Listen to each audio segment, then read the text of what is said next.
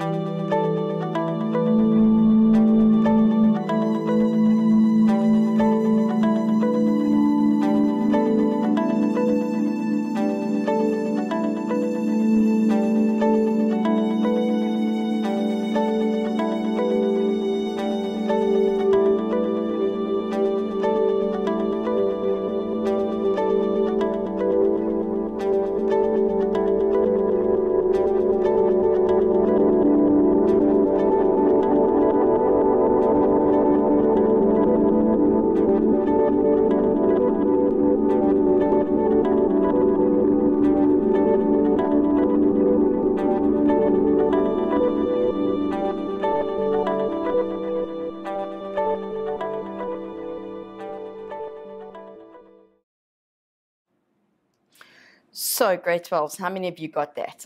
Okay, two seconds. You should have got it quite easily. Uh, two seconds, two minutes, my goodness. Now, what I'll need you to check, and this is really important for me, is and I did I did this deliberately, is I'd love to know, I wish I could see hands, how many of you actually drew a diagram before you try to answer this question?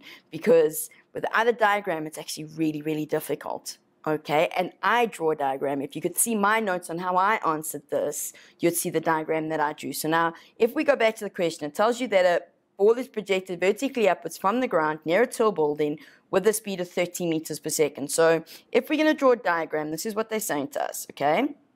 There's my ball. It's been projected upwards at 30 meters per second near a tall building. Now, the tall building actually is irrelevant for this first part, but it doesn't matter. Then they say to you that, and they, well, that's all they give you, and then they say to you, how long does it take for the ball to reach the ground again? This can be done in lots and lots of ways, but I want to encourage you to do it in one step. That's why it's only worth four marks, because you can do it in one step. Very first thing you have to do is decide on a direction being positive. I always like to take original direction as positive, so up is positive. That means the ball's going to go up with a positive 30. Now here's the trick with this one. Remember, it's going to go up and then it's going to come back down and because it ends where it starts, okay, so now let me just write this in. I know initial velocity is 30. Because it ends where it starts, here's the trick. My final velocity is minus 30. Okay, it's going to go at exactly the same velocity, but in the opposite direction. Same speed, different direction. Okay, so it's minus 30 because it's coming down at 30 meters per second. But Here's the next trick, and this is why they asked you the first question. What is the acceleration? Well, it's gravity. Gravity always acts down. So it's 9,8 meters per second, okay? And what I want is time. Now I look at that and I go, well, actually, I've got quite a bit of stuff. So from here, I can put this straight into my this equation of the equations of motion. This is why having an information sheet is so important because I can put it straight into here. That's minus 30. That's 30. And here it's minus 9, comma 8, and we don't know time. Okay, so now the mass thing, the 30 goes over, so we have minus 60 divided by 9, comma 8, minus 9, comma 8, and my time is now 6,12 seconds. Guys, if you get a negative time here, you will have made a mistake. You cannot have a negative time because time can't go backwards. Okay? Good. Now, keep that time in mind because now they want to know calculate the distance traveled by the ball during the last second of its fall. That's quite important, okay? I really want you to try to think this through. So I'm going to give you two minutes again, and your time starts now.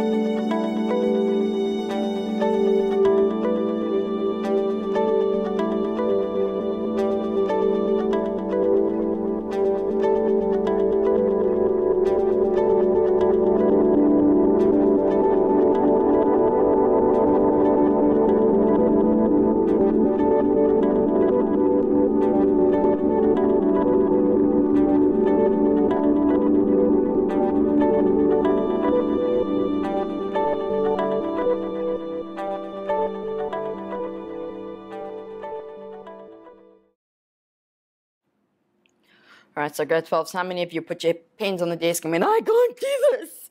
It's all right. Deep breaths. So we go back to our diagram. Now what they're asking you for is they're saying, well, if we looked at the last second of its fall, what is that displacement? Okay, so now you've got to say to yourselves, in that last second, I know that the velocity that it hits the ground with is minus 30. So now you go, so we think through this, and we go, well, if I knew this velocity over there, then I could work this out. And then you say to yourself, well, can I work that velocity out? Of course I can, because for the first, before we get to that last second, this is what I know. Okay, no, it's not what I wanted to do. This is what I know. My initial velocity is 30. Okay, I'm going to leave VF for now. A is still minus 9,8. That's not going to have changed.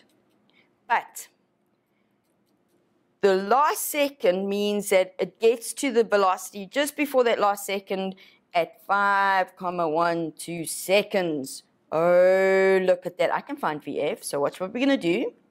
So VF equals VI plus A delta T. So this is 30.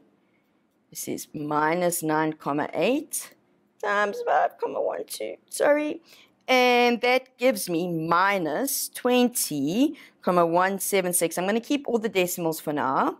So what this means is when we look at the motion, here's the last second of the motion. Over here, it's going at minus 20 comma 176. Over here, it's going minus 30. So that's now my initial velocity. That's now my final. That's time, and I want delta y. Oh, look at that. And I know, even better, that a is minus 9 comma 8. So actually, I've got lots of information. The reason why I wanted VI is because I, even if I try to use this equation, I would still need to know VI. Okay, either way, you can actually use anything at this point. But to me, I don't like manipulating equations if I can at all help it. So VI delta, VI, VI delta T, not V delta T squared. Okay, it's VI delta T plus a half A delta T squared. Apparently I've forgotten how to write. So that's minus 20, comma 176 times 1 plus a half times 9 comma 8 times 1 squared. And of course, I put that into my calculator.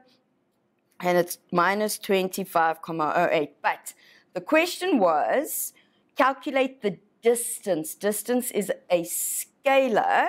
Okay, so distance, that you can never give me a scalar as a negative. Okay, so you're going to say to me that therefore the distance that it falls is 25,08 meters. Yay! We're so happy. Oh, but now we get to the fun question. I can hear the groans. It's all right. So, now it says to you, two seconds after ball A is projected upwards, ball B is thrown vertically upwards from the roof of the same building. The roof of the building is 50 meters above the ground. Both balls reach the ground at the same time. So what they're saying to you is ball A goes up and comes down, and that happens at 6,12 seconds. Two seconds afterwards, ball B goes is thrown up and then comes and hits the ground. But they hit the ground at the same time. So time is important now, okay? And what they want to know is the speed of ball B with which it's projected. And it's speed. So you don't actually need direction, but it's the speed at which the ball's projected, okay? Now I know you've already done a lot. Okay, so this we're gonna go a little bit longer now. So what I want you to do, see if you can do this. And I'm gonna give you two minutes and your time's gonna start now.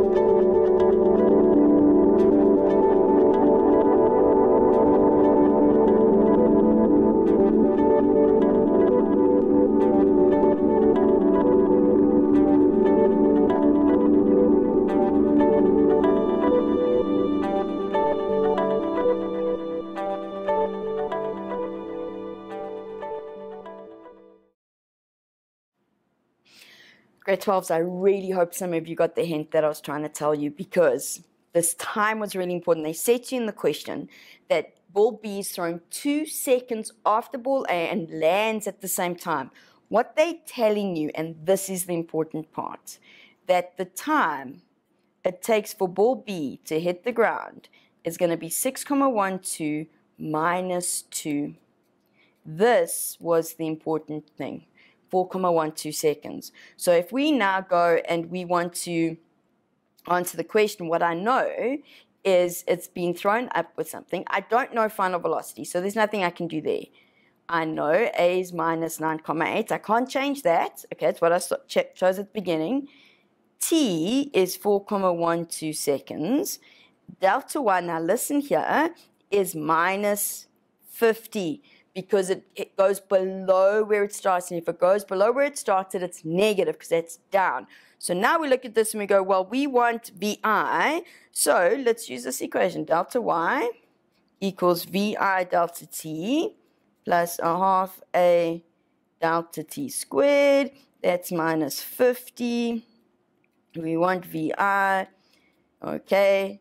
And this is minus 9,8 and this is 4,12. Now, just to save some time, grade 12s, because I know you need a break and your brains are a little fried right now, you, I'm not going to show you all the maths, but what you get is 8,05 meters per second. The question was, what is this? What speed is it thrown at? I don't need a direction. Okay, so that's fine. I can leave it as it is.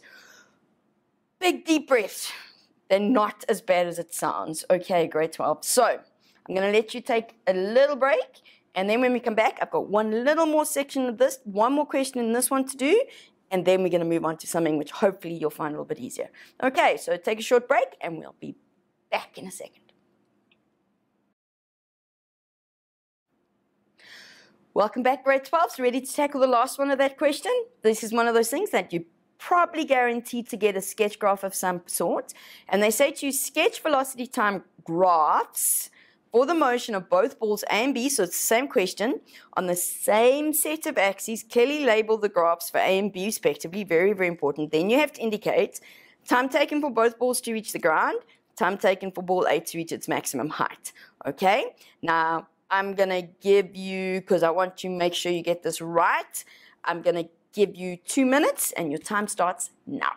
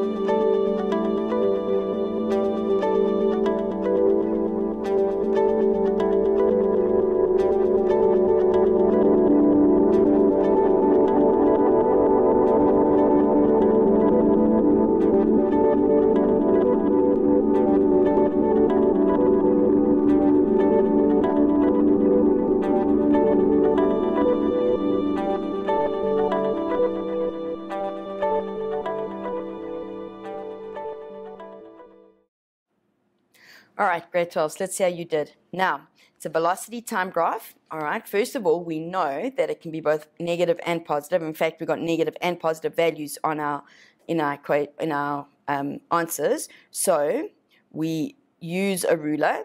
Oh, no, we don't put extra ones in because we can.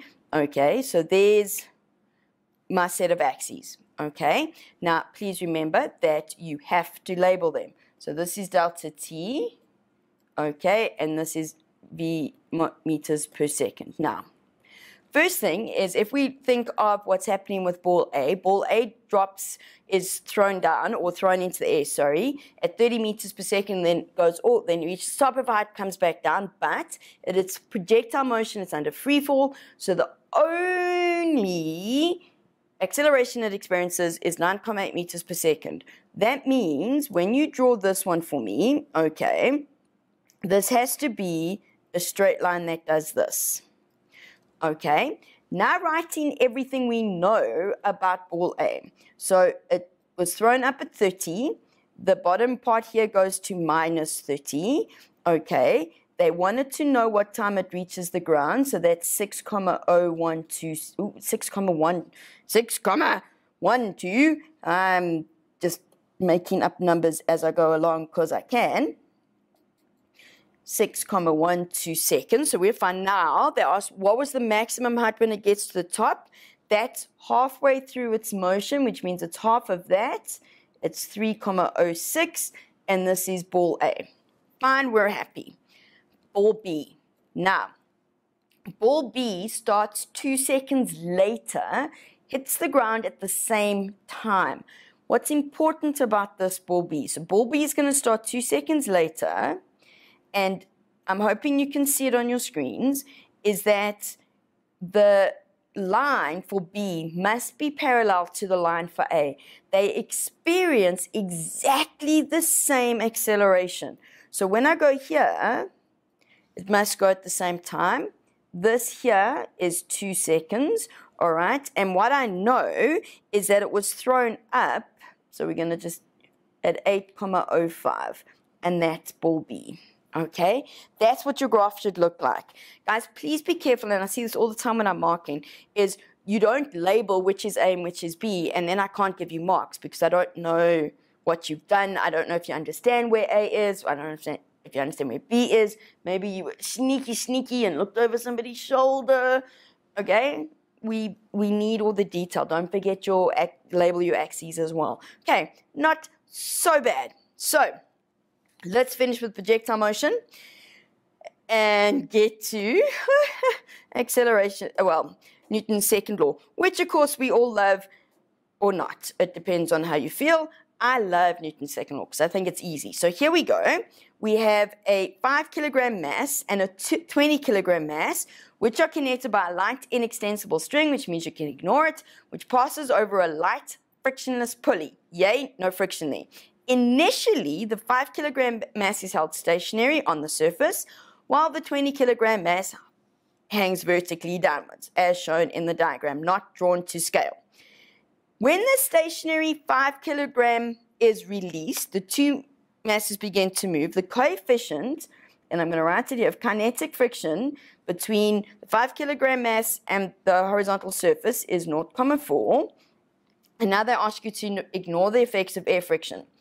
First, first question, calculate the acceleration of a 20 kilogram mass. So there is your diagram.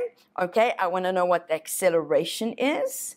Okay, Newton's second law. This one's going to take you a little longer, so I'm going to give you three minutes to see how far you get, and those three minutes start now.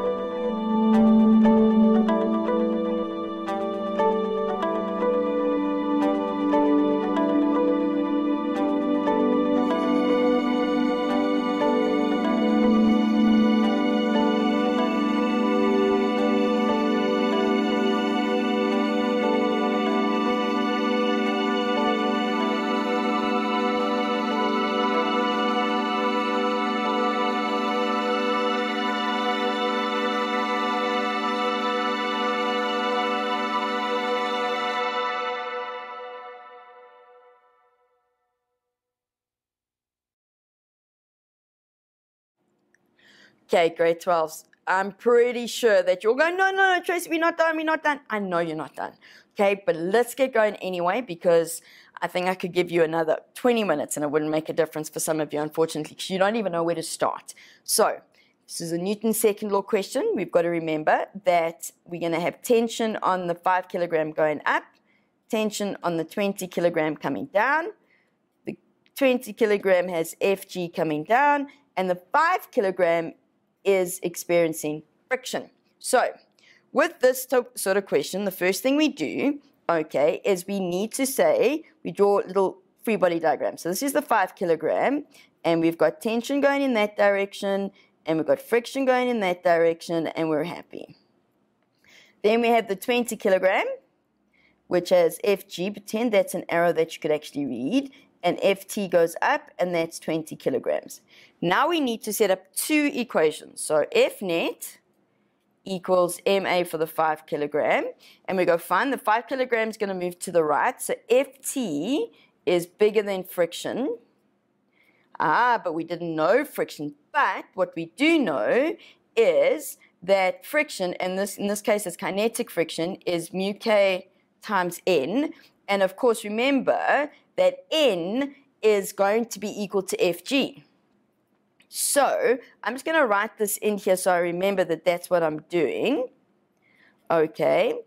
Now I substitute in what I know. I don't know ft. I know mu k, it's 0,4. N we just said was its weight, okay? So that means it's 5 times 9,8, which is then 5a. And this gives me this. Oh, no, not equal. What am I doing? So it's ft minus 19,6 equal to 5a.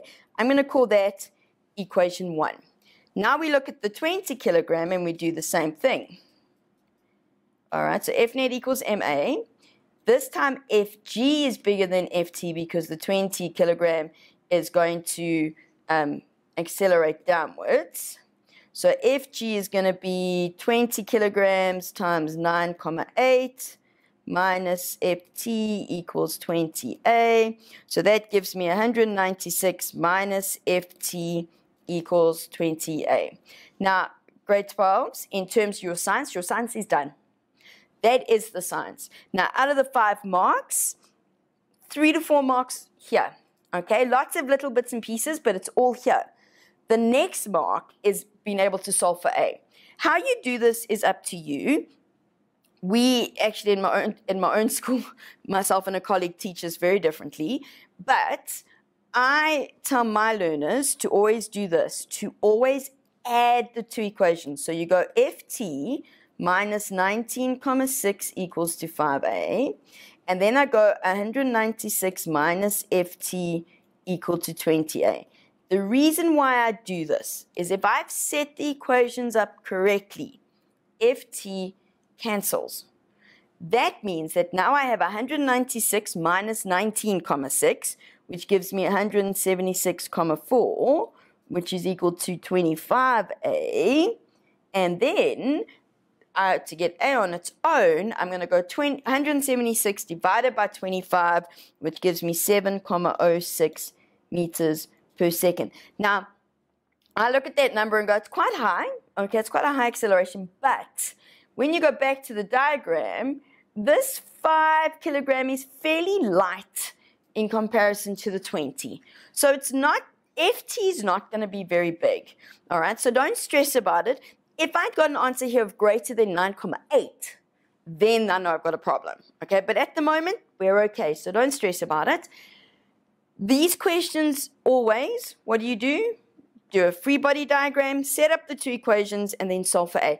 Obviously, from here, we could ask you to solve FT. They didn't in this question, which is quite nice. They asked you other things, but shame. I think we're all, oh, a little, oh, that was too much. And I need you to think about this for a little bit, okay? So we're going to take a short break and then we come back. We've got another question for this and then we'll tackle a Newton's law of universal gravitation. Okay, so we're going to take a short break and I'll see you in a couple of minutes.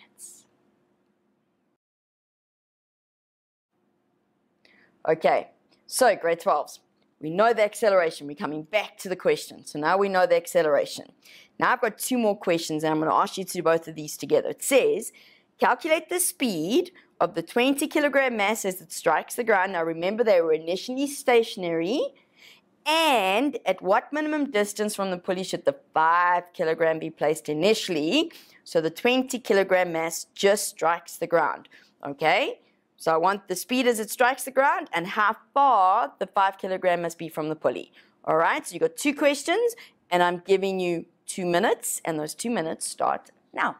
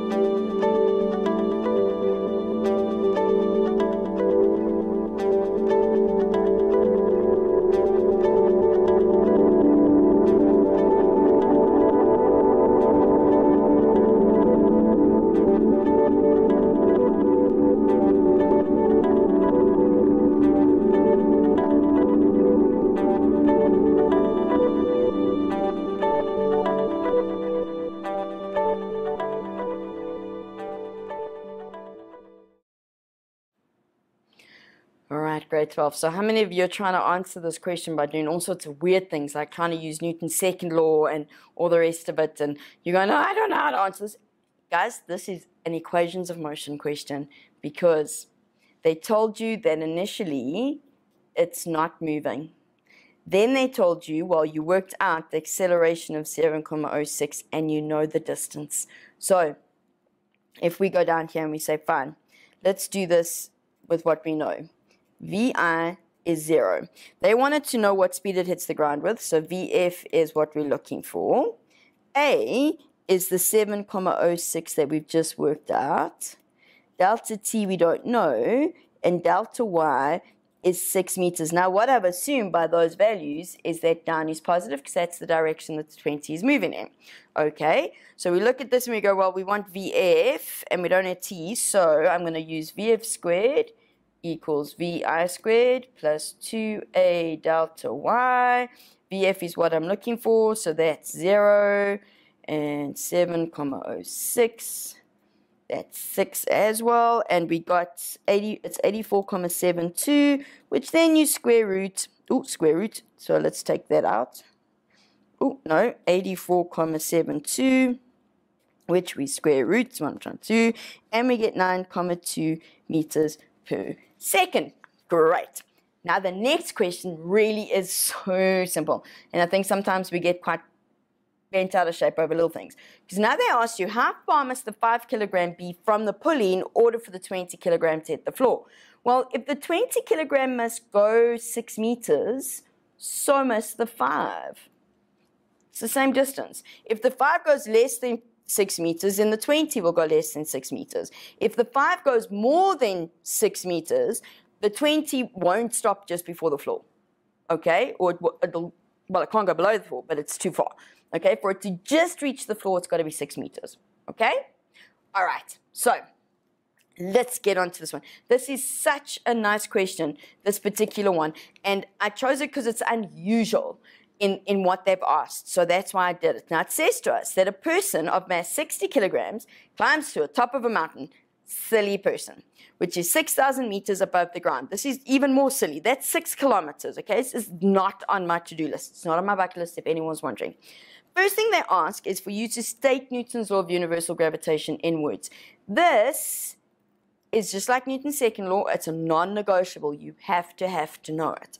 All right? And remember, this one says to me that everybody in the universe attracts every other body or object in the universe with a force that is directly proportional to the product of the masses and inversely proportional to the square of the distance between them. Okay? Guys, I cannot emphasize enough to you the importance of learning your definitions. Okay, I really, really, really, really can't. So that's a definition. Now, I love this question. Now it says to you calculate the difference in the weight of the climber at the top of the mountain and at ground level. You need your ref, you need your information sheets. Okay? You need your information sheets. Calculate the difference in the weight of the climber at the top of the mountain and at ground level. It's six marks. That means you've got to use two equations, okay? And now I'm going to give you three minutes to do it. As you're doing it, what I'm going to do is I'll write, as you busy, when I give you three minutes, I'll write the mass of the Earth and the radius of the Earth on the screen for you to make it a bit easier. But your three minutes starts now.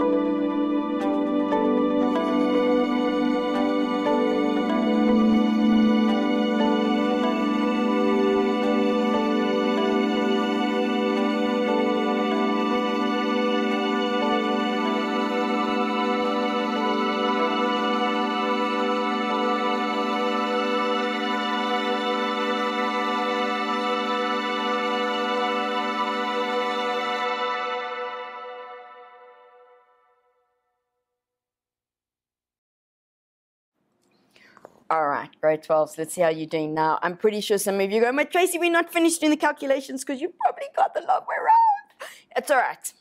Don't worry about it, grade 12s. The whole purpose of this is sometimes you need to start something for me to be able to show you, well, actually, there's an easier way. The, the, the fact that they said a difference in weight actually does make it easier for us because if we want a difference in weight, we've got to recognize that the further away the climber gets from the surface of the Earth, the smaller his weight's going to be, because that's the force of attraction between the Earth and the climber. So the first thing I'm going to do is say, well, on Earth, on the surface, okay, his weight is Fg.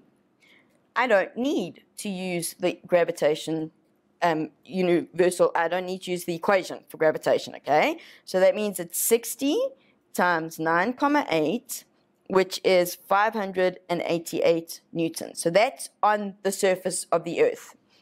Now, on the mountain, now I do have to use Newton's law of universal gravitation, which means the force of attraction is G m1 m2 over r squared. Okay, now I'm just going to change color just because this pen's a little thinner.